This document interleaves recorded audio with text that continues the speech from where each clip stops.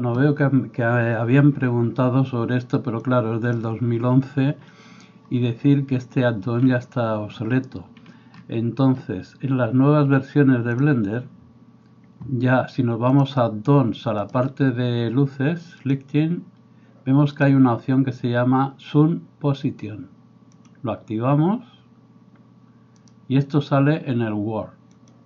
Bien, entonces, para hacerlo bien, vamos a quitar esto y vamos a poner un terreno. Bueno, vamos a hacerlo más pequeño. Entonces, lo primero sería añadir una luz. ¿Qué tipo de luz? Vamos a poner un azul.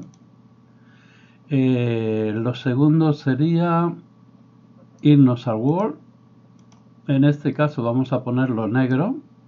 No voy a activar esto de momento porque bueno sí se vería igual. Pero bueno no sé de momento aquí.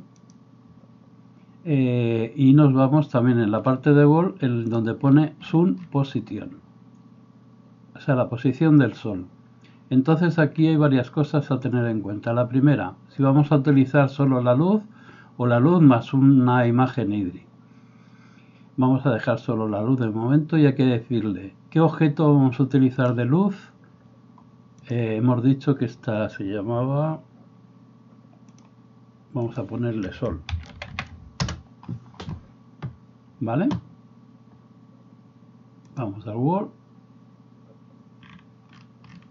Y vamos a decirle aquí que se llama sol. ¿Vale?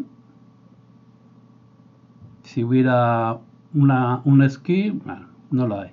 Las coordenadas, ¿cómo ponemos las coordenadas? La forma más fácil es ir a Google Maps, nos vamos a la zona donde queramos buscarlo, clic derecho y copiamos esto.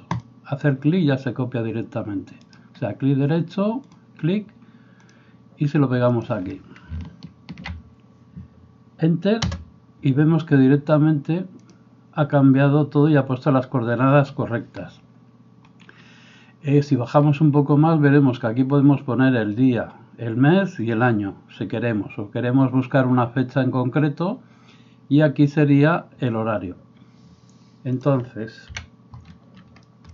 para hacerlo bien, esto tiene que estar en sol, esto en coordenadas y ahora, a ver, el render.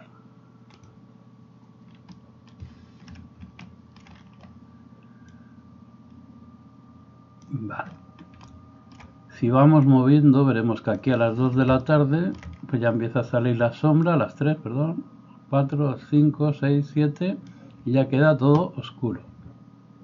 ¿Vale? Si lo hacemos al revés, o sea que podríamos poner exactamente que a las 4 pues las sombras tiran de este lado. No recuerdo ahora las coordenadas como son, me parece que sería al revés el este sería aquí. No este sería aquí.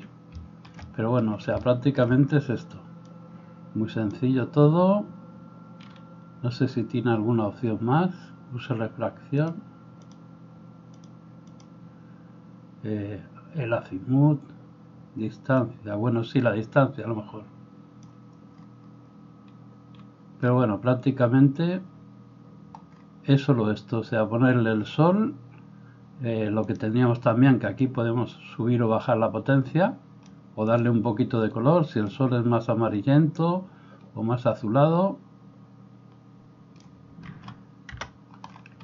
Y tendríamos nuestras sombras. De momento nada más.